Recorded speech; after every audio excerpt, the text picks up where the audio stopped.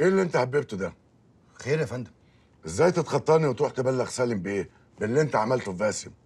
أنا ما كانش قصدي والله. سيادتك قلت لي إن دي أوامر سالم بيه. ولما سألني وأنا عنده في الفيلا إيه الأخبار؟ افتكرته بيسألني على موضوع باسم. فطمنته. أدي الحكاية. طمنته؟ ولا حبيت تاخد بنت على حسابي عنده؟ يا فندم هو حضرتك على طول ظالمني كده؟ طب والله قلتها له بحسن نية. حسنية ماشي.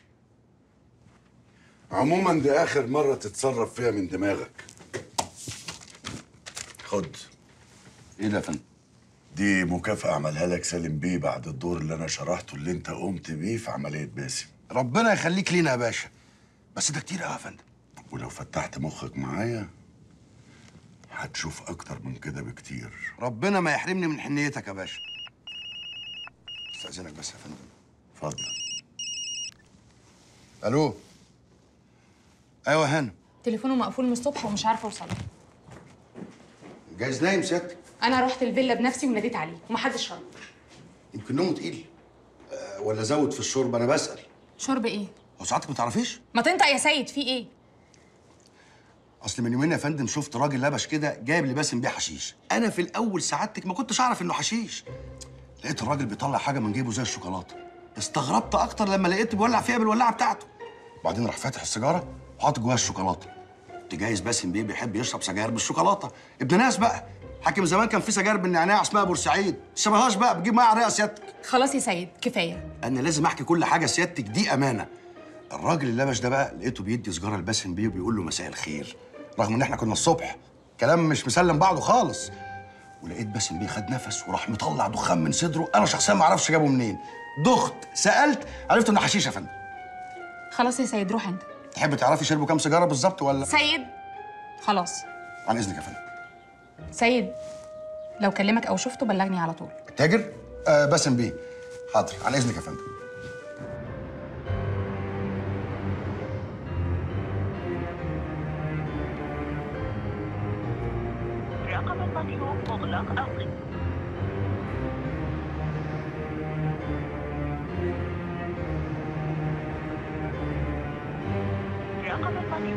مغلق. رقم المطلوب مغلق أو غير متاح.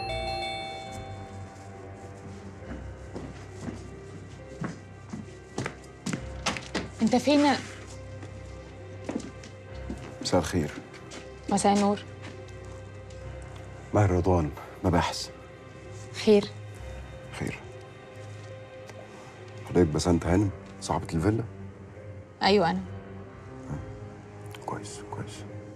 أنا كنت هبعت أجيبك من شوية. تبعت تجيبني؟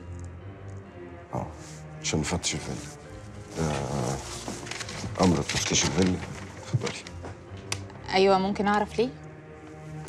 ممكن جدا. هنفتش بس وهقول لحضرتك كل حاجة. أيوه أنا بسألك أنتوا بتفتشوا الفيلا ليه؟ حضرتك مستعجلة ليه؟ قلت لك هنفتش ونقول لحضرتك كل حاجة. ثواني. مفيش حاجة سعادتك. مفيش حاجة يا فندم. هو إيه اللي مفيش حاجة؟ هو سيادتك كنت متخيل هتلاقي إيه؟ هو انت كنت جاي تدوري على باسم بيه مش كده؟ أيوه حضرتك عرفت منين؟ أصله عندنا في الاسم.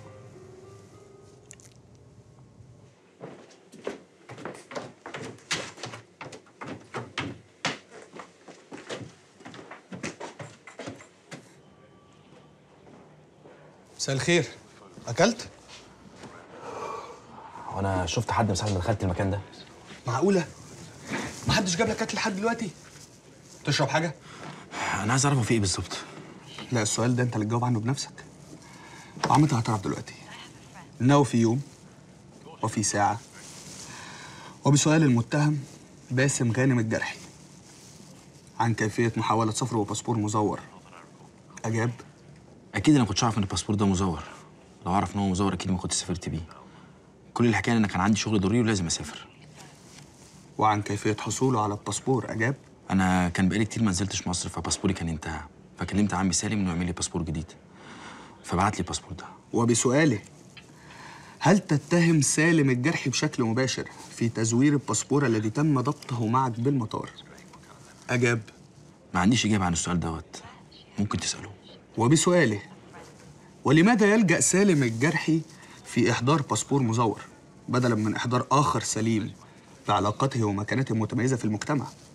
أجاب برضه هو ممكن يجاوب وبالمرة اساله كان ليه عايز يقتلني ولما فشل بعت لي باسبور المزور ده طب سالم ده يحاول يقتلك ليه؟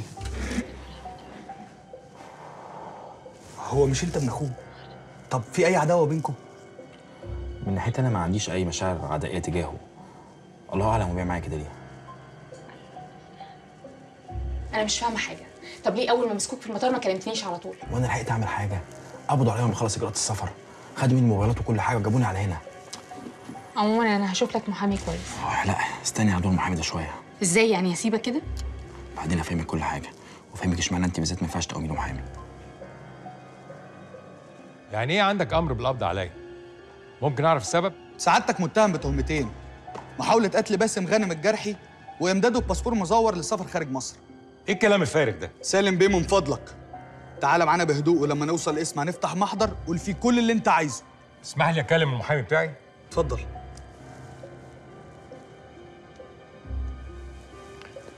أبو اليزيد عايزك تجي لي فورا.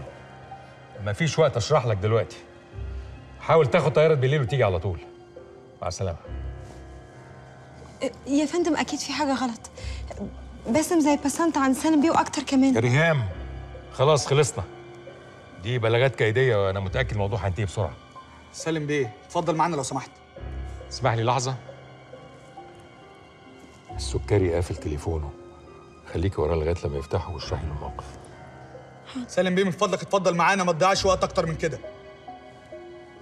اتفضل.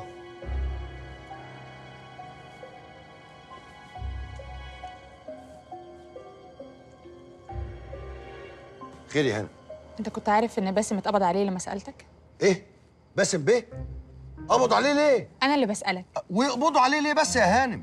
أنا امبارح بعد ما حضرتك قلقتيني عليه قلبت عليه الغردقة. ما عثرتش فيه. بس الصراحة يعني ما جاش في بالي ادور عليه في الاسم. انت اخر مرة شفته كان إمتى؟ امبارح بالليل. وما قالكش انه مسافر؟ لا خالص ف... مسافر. أنا ساعة ما شفته امبارح وشه ما كانش عاجبني كده. عمال يضرب الوان اصفر واحمر واخضر. حتى أنا استغربت إنه استلف مني فلوس. ده حتى خد ساعتي وعليها 200 دولار. غريبة قوي. وهو لما يحتاج فلوس الاولى يطلب مني أنا. أنا عارف بقى تلاقيه كسف يا فندم. حاكم برضه يعني الحاجات دي الراجل بيبقى عنده حاجة فيها.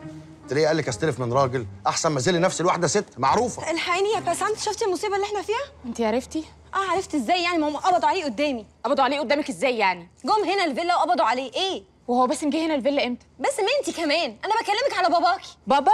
لا إله إلا الله. دي فرة مسكت في الفيلا يا ناس. يا سالم بيه مش معقول كده؟ حضرتك اللي تعب نفسك. قلت لك مش هتكلم إلا في وجود المحامي بتاعي. ما هو إحنا برضه مش هنفضل تحت امره إحنا بقالنا أكتر من ساعتين بندور في نفس الدايرة وبدون أي نتيجة. حضرتك استخدمت حقك القانوني وجبتني لغاية هنا. أنا كمان هستخدم حقي القانوني. مش هتكلم إلا في وجود المحامي بتاعي. خلاص. أنا بقى هبتدي المحضر وأبقى امتنع أنت عن الإجابة. وبرضه هسجل ده في المحضر. هذا هو بسؤال السيد سالم الجرحي عن ما وجهه له المتهم باسم غانم الجرحي ابن شقيقه من اتهامات بمحاولة قتله وتقديم باسبور مزور له بغرض السفر. أجاب. ادخل. واحد عايز يخش حضرتك يا باشا والكارت بتاعه.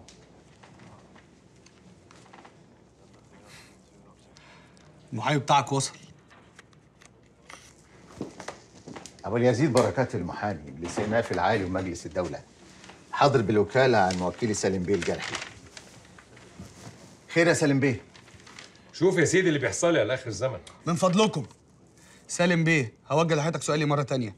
باسم غانم الجرحي بيوجه لحضرتك اتهامات أولا بمحاولة قتله ثانيا بتسليمه باسبور مزور لمحاولة السفر بره. بلاغات كيدية سيادتك. واضحة وضوح الشمس. ثم إيه مصلحة موكلي في قتل ابن أخوه؟ اللي هو في مقام ابنه. أنا اللي بسأل السؤال ده يا أستاذ أبو اليزيد. بركات ومجلس الدولة. طبعا سيادتك سيد اللي عارفين إن أي جريمة كبيرة زي القتل بتحتاج لدوافع كبيرة. مثلا اختلاف على مصالح في الشغل أو اختلاف على مبالغ مالية كبيرة ضخمة يعني تتفق ومكانة موكلي في المجتمع أو اختلاف عائلي على ميراث كبير. وإحنا ولله الحمد. مفيش أي دافع من دول ينطبق على حالتنا. إلا بقى إذا كان عند سيادتك دليل أو أكتر.